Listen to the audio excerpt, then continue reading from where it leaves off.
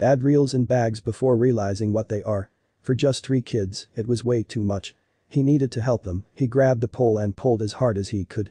But when he saw what they had could he couldn't believe his eyes. Were they even allowed to do this? Rob and Patricia Alamy wanted to go for one more outing with the family before their kids would have to start the school year. They bought snacks and drinks for the day and got into their fishing boat. The weather was clear and the water was crystal. It was the perfect day for fishing.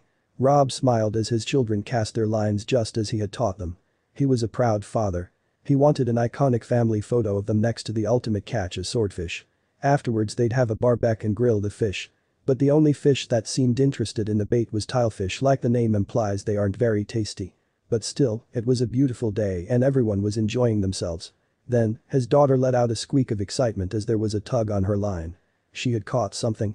The fish she had caught must have been quite a catch. He was hoping it was the swordfish they had been looking for. The three kids were now working together to try to reel the sea creature in. But when Rob noticed the canvas breach the water, he had to step in. They had found a bag, Rob wondered if it was another piece of trash that the ocean was full of. He then noticed that the bag was full of something. He really hoped it was just old clothes, he'd heard horror stories surrounding bags being dumped in oceans. He didn't want to open it in front of his impressionable children. While his children were being distracted by their mother he slowly opened the bag. Checking its contents. It weirdly almost felt like Christmas morning. Unwrapping a present under the tree, except this time he was in a boat and his present was an unknown bag. The bag felt smooth in some areas and chunky in others when he pushed down onto the bag. Equals the kids were guessing like it was some kind of game. They kept saying that whoever guessed right would get to keep whatever it was. Then Rob saw green and a very easily recognized symbol on the items. Money. His kids yelled, jumping up and down. Oh my god his wife muttered as Rob pulled out huge stacks of $20 bills so far there was enough to pay off their car. But that wasn't all that was inside. It seemed the solid blocks were cash. But what was inside the lumpy ones? Honey, call the cops Rob said, feeling his heart pound furiously. Inside was a baggie of cut and uncut diamonds. Just one held an entire fistful, and there were at least six more inside the duffel bag. Suddenly, Rob realized he needed to stop touching it immediately. This was bad.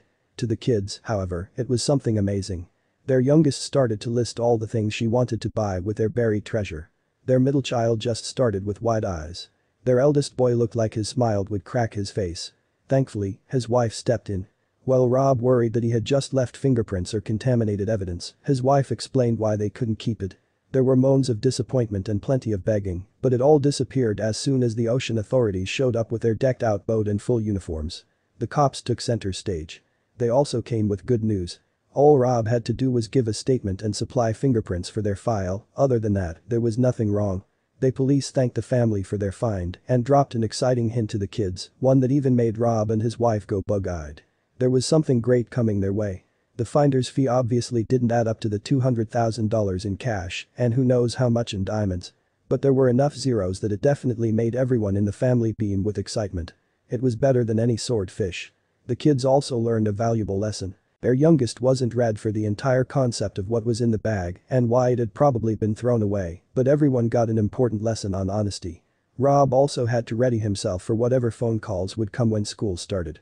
The teachers were certainly going to label this as a tall tale.